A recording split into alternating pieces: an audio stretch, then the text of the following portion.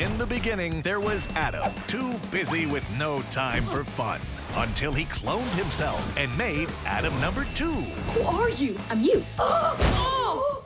And Winston. A copy of a copy? He is so bright. And Party Boy Adam. Oh, And Sensitive Adam. Why did you get a ponytail? It's a clip-on.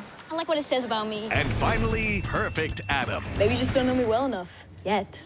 Will six Adams be too many for one town? Ready or not, here I come. Jace Norman stars as Adam, and Adam, and Adam, and Adam, and Adam, and Adam. In the new Nickelodeon original movie, Splitting Adam, on your day off from school this President's Day.